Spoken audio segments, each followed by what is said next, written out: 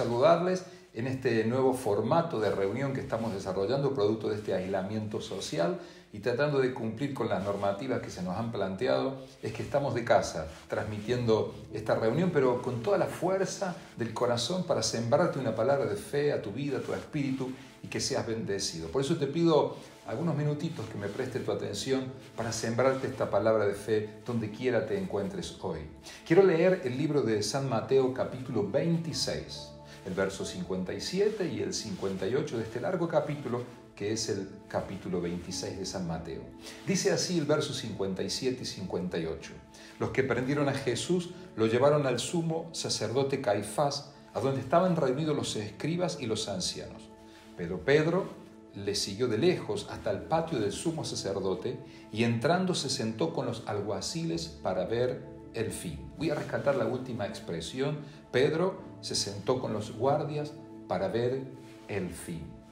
Bueno, estaba viendo una campaña publicitaria de concientización sobre accidentes viales y que de una manera brillante los publicistas hacían notar cómo a veces una pequeña distracción puede generar una fatal consecuencia. Se referían básicamente a los móviles, a los teléfonos, cuando la gente va conduciendo, los atiende y cómo eso puede generar una fatal distracción, un, gran accidente. ¿Verdad? Sintéticamente era eso lo que estaba viendo.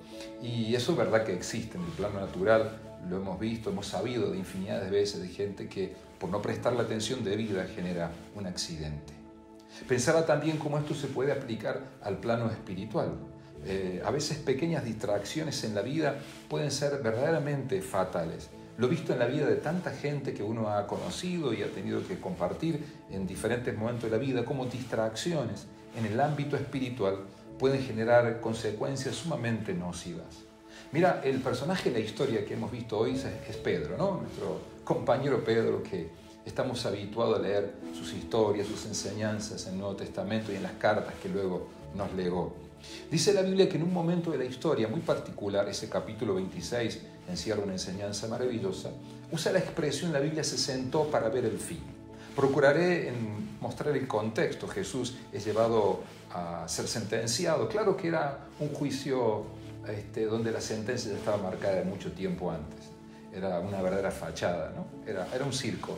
Honestamente lo que estaban planteando allí, la sentencia de Jesús estaba establecida, el justo muriendo por los injustos. Y allí estaba Pedro, absorto por ver que Jesús no reaccionaba. Eh, no se daba cuenta que de pronto lo estaban llevando allí y de pronto al hombre que él había conocido hacer milagros, portentos, eh, haber compartido tantas aventuras, historias de vida, de pronto no reacciona y se entrega mansamente a una muerte de cruz.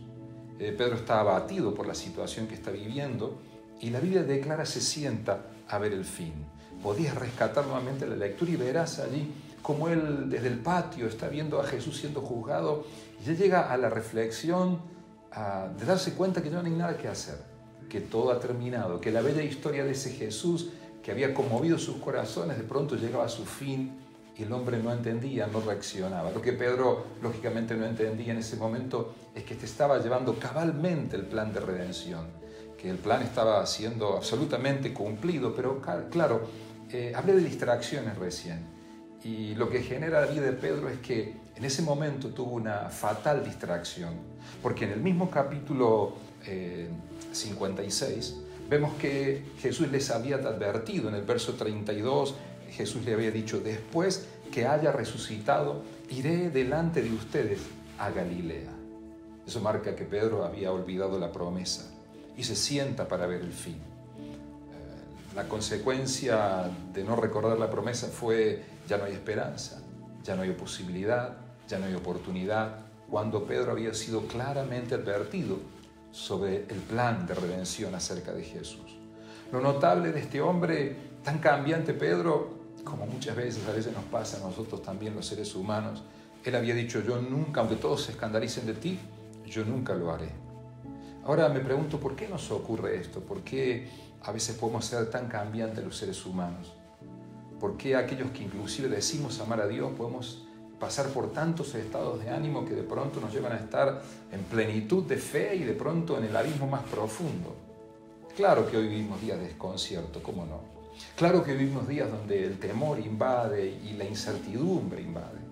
Pienso en los padres preocupados por los hijos, en los hijos preocupados por los padres, los matrimonios, la situación económica, la familia. ¿Cuántas preguntas, verdad? ¿Qué momento tan particular nos toca vivir hoy? Y a veces te invade un desánimo tal que uno dice, ¿habrá esperanza? ¿Habrá oportunidad? ¿Saldremos adelante? ¿Cómo seguirá esto? Eh, Pedro lo define muy bien. Se sentó para ver el fin. Eh, extrañamente, o de manera tan particular, la Biblia nos enseña que fue el mismo Pedro que años después escribe en la primera carta de Pedro, capítulo 5, verso 7, lo siguiente. Pongan todas sus preocupaciones y todas sus ansiedades en las manos de Dios, porque Él cuida de ustedes. Lo volveré a leer porque es un texto que toma vigencia en estos días y que es tan lindo recordarlo y proclamarlo. Pongan todas sus preocupaciones y ansiedades en las manos de Dios, porque Él cuida de ustedes. Brillantemente el salmista en el capítulo 27 del libro de Salmos, verso 1, dice, el Señor es mi luz y mi salvación. Entonces, ¿por qué yo habría de temer? El Señor es mi fortaleza y me protege del peligro. ¿Por qué yo había de temblar? Qué bonito es llegar a esta reflexión de la palabra, de la escritura en estos momentos, que aunque la perspectiva no sea las mejores, aunque por esas cosas la vida hoy podamos sentir que no hay demasiadas expectativas, levantar nuestros ojos a los cielos y saber que el Padre bueno que prometió cuidarnos, asistirnos, ayudarnos, está de nuestra parte y que Dios nunca nos dejará defraudados, mucho menos desamparados. Todo lo que ocurre en el corazón de Pedro tiene que ver con aquella cuestión de haberse olvidado de la promesa. Claramente el Jesús, Jesús le había advertido, pero en un momento de distracción, lo olvida. Quisiera dirigir mi palabra a aquellas personas que hoy están atrapadas por el desánimo, aquellos que hoy están en una lucha, en una presión emocional tan intensa y tal vez lo que te haga falta recordar son las promesas de Dios. Porque los que un día creímos en el Señor y pusimos la confianza en Dios más allá de las cambiantes circunstancias de la vida, no te olvides por favor que hay un Dios bueno que cuida a sus hijos, que hay un Dios bueno que protege a sus hijos y que nada ocurrirá a menos que Dios no lo permita. Me gustaría levantarte tus manos, campeón, y decirte que nada está perdido, que Dios sigue estando al control de todas las cosas. Y aunque de verdad no tenemos respuesta para todo lo que pasa, porque tenemos incertidumbre, pero la certeza en el corazón de que podemos poner nuestras cargas, nuestras ansiedades en las manos de Dios y recibir algo maravilloso, que es la paz de Dios que sobrepasa todo entendimiento humano, la que guarda la mente y el corazón de los que confían en Él. Veía yo la contradicción de este hombre, te lo planteaba recién. Un día dijo, Señor, yo nunca te voy a negar, nunca te voy a dejar. Y después llega a la conclusión Pedro ante un grupo de gente, no solamente que lo niega a Jesús, sino que cuando le preguntan acerca de Jesús, él dice, yo no lo conozco a ese hombre, no, no sé quién es. Me pregunta por qué a veces nos invade el desánimo. Te pregunto, me pregunto a mí mismo, ¿por qué a veces planeamos dejarlo todo? ¿Por qué a veces hemos tenido, le hablo a esa gente que a lo mejor ha tenido sus tiempos de plenitud con Dios, que le ha servido al Señor con tanto fervor, con tanto entusiasmo, y te pasaron cosas hoy. Y hoy me estás escuchando circunstancialmente y lo dejaste todo. Tal vez abortaste el plan hermoso que Dios tenía para con tu vida. Y hay cosas que te tienen postergado a la orilla del camino mientras el mundo sigue avanzando y tú lo ves de lejos. Me pregunto por qué te pasa a ti, por qué muchas veces he confrontado mis miserias humanas también y a veces planeamos dejarlo todo. Y quisiera responder este a este, interrogante con algunas certezas que tengo en mi corazón. Lo primero es que la falta de comunión con Dios te vuelve inseguro, te vuelve improductivo. Te voy a repetir eso, la falta de comunión con Dios te vuelve inseguro, te vuelve improductivo. El verso 40 de ese rico capítulo 56 de San Mateo, el verso 40 dice que vino luego a sus discípulos y los halló durmiendo. Y dijo a Pedro, ¿no han podido velar una hora conmigo? Tremenda esa parte de la historia, ¿verdad? Jesús le reclama, les pedí por favor que me acompañaran en oración, pero no pudieron. Se han dormido. Es un, reclamo del Señor. Los que leemos la Biblia conocemos esta parte de la historia. Sabes que pienso que la falta de comunión y de oración te lleva a sentirte inseguro, inestable. Siento que la inestabilidad nos, nos atrapa, el desconcierto se apodera de nosotros cuando perdemos la comunión con Dios. A lo mejor tenemos algún tiempo ya de servir a Dios. A lo mejor ya tenemos un recorrido en la vida sirviendo a Dios Pero voy a decirte algo, tu antigüedad en el Evangelio no te hace inmune a la incredulidad. En otras palabras, todos los días hay que seguir creyendo.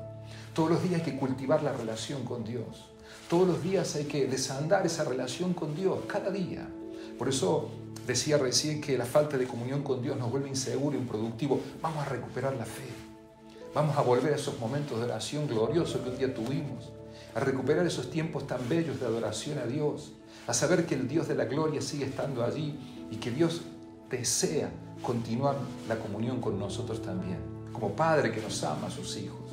Y allí se verás la fuerza de Dios en tu vida. Es más, declaro proféticamente en el nombre de Jesús que si lo buscas a Dios con intensidad, el Señor se va a revelar en tu cuarto, en tu habitación, en tu sala, en tu automóvil, donde quiera te encuentres hoy, tal vez confinado en este aislamiento. En el, ámbito de la privacidad de tu cuarto, Dios va a venir, te va a hablar, te va a levantar a los mejores días que Dios tiene para tu vida. Quiero que recibas esta palabra en el nombre de Jesucristo y percibo mientras te hablo hoy que el Espíritu Santo está ministrando a gente que nos escucha hoy. Que te vas a levantar a vivir los mejores días que Dios tiene para tu vida y el Espíritu Santo vendrá a ministrar la necesidad más íntima que hay en tu corazón. ¿Sabes? Pedro se sintió decepcionado. Déjeme pensarlo así porque dijo, le conocimos a Jesús, le vimos hacer milagros Pedro decía, yo mismo caminé sobre las aguas, alimentamos a una multitud con algunos panes y algunos peces, fuimos testigos de los milagros de Jesús. ¿Por qué hoy se entrega mansamente a una muerte de cruz? ¿Por qué no reacciona? ¿Por qué no, no piensa que lo van a matar? Este hombre no, no ha entendido lo que sucede. La decepción. La decepción es muy fuerte, ¿verdad? Te paso, ¿no? Sentirte decepcionado, nos pasa. La decepción viene por esas cosas que no salieron como uno esperaba que debían salir. Esas actitudes que uno esperaba de gente que luego la gente no la tuvo. Y a veces he llegado a la conclusión que tenemos expectativas incorrectas y hay que corregir nuestras expectativas para que no nos atrape la decepción. Porque en realidad Pedro pensaba que Jesús no debía ir a una cruz. Lo repito, tal vez Pedro pensaba que Jesús no debía ir a la cruz. Si era el Hijo de Dios, ¿por qué entregarse de esa manera? Señores, es difícil entender cuando Dios no hace lo que nosotros queremos que Él haga. Es difícil de comprender cuando el Señor no hace precisamente lo que nosotros pensamos que Él debía hacer. Y ese es el punto. El punto es que el conocimiento que Dios tiene de la vida es mucho mayor al que tenemos nosotros. Y ahí es donde debemos ejercer fe. Creer que Dios tiene lo mejor para nosotros. Por eso es que hoy se encuentra gente a la orilla del camino y la vida se le pasa por delante y la decepción acuesta y lleno de resentimientos, producto de la, de la decepción. Gente que ha perdido el enfoque en la vida por sentirse decepcionada. ¿Sabes? A veces me pregunto, qué bronca, qué rabia fue lo que acalló tu voz. ¿Cuánta dinamita hizo falta para hacer volar en mil pedazos tus sueños? Quisiera pedirte que sigas adelante y por favor, si me permites hablarte así, de corazón a corazón, que le pegues una patada a la decepción. Y que recibas la fuerza del cielo, porque si yo pudiera entrar a la historia, si vos me pudieras acompañar, nosotros que sabemos el final, le diríamos, Pedro, no te sientes ver el fin, amigo. El Señor un día, si bien es cierto, va a morir en la cruz, pero va a resucitar. Y quiero decirte algo, ¿por qué no tener fe que aún lo mejor viene de camino? En estos pronósticos gris que envuelve la sociedad, en estas pocas perspectivas que mucha gente tiene y que la decepción le atrapó el corazón, ¿por qué no creer que algo bueno Dios hará en los próximos días? Y que Dios se glorificará en sus hijos y que el Señor nos levantará al mejor tiempo que Él tiene reservado en la vida. ¿Por qué no creerlo de esa manera? Quiero ir buscando el final de mi tema para plantearte otro tema, que es la contradicción. ¿Sabes el capítulo 26 de Mateo que te recomiendo una vez más que lo leas, por favor? Dice por allá por el verso 35, dejaremos la vida por ti, manifestaba Pedro. Luego en el verso 56 se sienta a ver el fin, como leímos juntos, pero ya en el 74 dice, no conozco al hombre. Qué contradicción. Por un lado, la fe tan genuina, tan intensa, nunca te dejaré, Señor. Después la fe va disminuyendo hasta sentarte a ver el fin y por último decir, yo no lo conozco Jesús, eh. nunca supe quién era. Cuando las personas le preguntaban, ¿tú estuviste con Jesús? No, no, yo no lo conozco. Él dice algo muy fuerte, no conozco al hombre. Me impacta eso. No conozco al hombre. Muchos cristianos se están secando espiritualmente porque viven una vida donde han perdido el temor a Dios y se han acostumbrado, como si fuera normal, a participar del lado de Dios y, digámoslo así, del lado del mundo. Gente que vive una contradicción permanente hoy en la consagración mayor, pero mañana parece que están al lado del abismo más profundo. Eh, no, no, no es con el ánimo de juzgarte, por favor, es para compartir una palabra de fe. Pero le da lo mismo a personas que dicen profesar la fe en Dios, ver un programa cristiano en la mañana, en la tarde y en la noche, ver programas que denigran al hombre, a la mujer, a lo mejor con conductores televisivos simpáticos, pero que son predicadores de la mentira, que son exaltadores de lo malo, gente que promueve la maldad y gente cristiana entregándole el corazón en esa ambigüedad, en esa contradicción. Por un lado la fe, por un lado lo oscuro del sistema que te plantea hoy. ¿Cuánta gente le da lo mismo levantar las manos en la iglesia, cantar una canción, manifestar que son cristianos confesos, pero luego maltratar a su familia verbal o físicamente? O ir a la iglesia como si nada y luego estar en un lugar inapropiado para una conducta cristiana. Vuelvo a insistirte, mi intención no es señalarte, no, no, no, de ninguna manera. Decirte que esto Gálatas, el libro de los Gálatas lo llama como las obras de la carne. Pero decirte que no podemos vivir en esa contradicción porque nos hace ser improductivo. Porque Dios no pide lo mejor de nuestro corazón, porque nuestro compromiso con Dios tiene que ser 100%, ¿sabes? Quiero decirte que estamos en días de incertidumbre, donde tal vez estamos en una contradicción absoluta entre muchas cosas que creímos y la realidad que vivimos. Y tal vez la decepción te atrapó y uno percibe que eso ha roto la comunión y se sienta a ver el fin. Pero declaro en el nombre de Jesús que a partir de este momento que estás escuchando esta palabra y de este mensaje, un nuevo tiempo puede comenzar para tu vida. Pedro pensó que el fin había llegado, pero en realidad estaba por comenzar lo mejor de la historia. Jesús iría en la cruz, episodio triste por cierto, pero se estaba gestando la redención de la humanidad.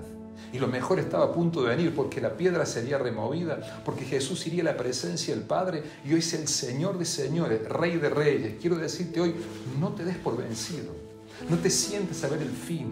Aún no es la última palabra, Dios tiene la última palabra y Él puede producir el milagro más extraordinario que jamás hemos sido testigos. Por favor, Levántate a vivir los mejores días que Dios tiene para tu vida. Renueva tu compromiso con Dios. Dale tu fe al Señor, que algo poderoso Dios hará en los próximos días. Te bendigo en el nombre de Jesús. Deseo que Dios bendiga tu vida, tu casa. Si llevas adelante un ministerio, que Dios te prospere, te levante en gloria, que Dios te restaure. Si hace poquito tiempo te has acercado a Dios, que sepas que los mejores días vienen para ti y algo poderoso Dios hará con tu, vida. Deseo que Dios te bendiga. Y recuerda algo una cosa es que la realidad sea amenazadora y otra muy diferente es que la realidad te pueda vencer. Te vas a levantar, te vas a levantar, te vas a levantar. Un milagro Dios hará. Te bendigo en el nombre de Jesús. Amén.